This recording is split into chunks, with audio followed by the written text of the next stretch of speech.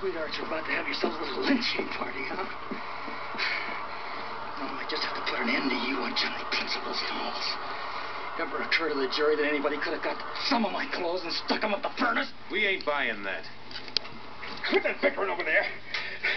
Wait a We'll have defibrillator over here. Drink these those paddles. You're gonna have to sleep sometime, MacReady. Well, I'm a real light sleeper, child. tries to wake me.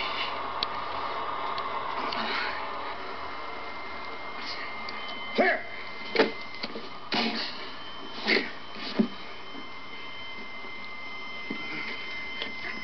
Mm-hmm.